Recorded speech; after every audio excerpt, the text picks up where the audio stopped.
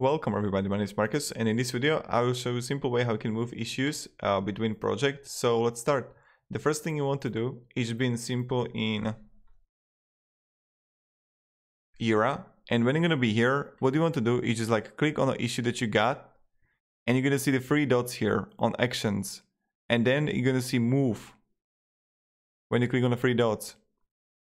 Now here move to and you're going to see where you want to move it and you can simply click like demo desk, general service desk or YouTube channel, whatever.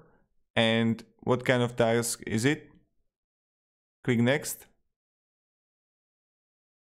To do, in progress, next, story points,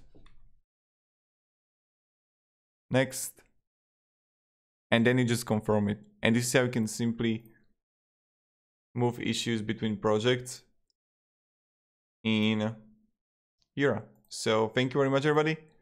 Have a great day and goodbye.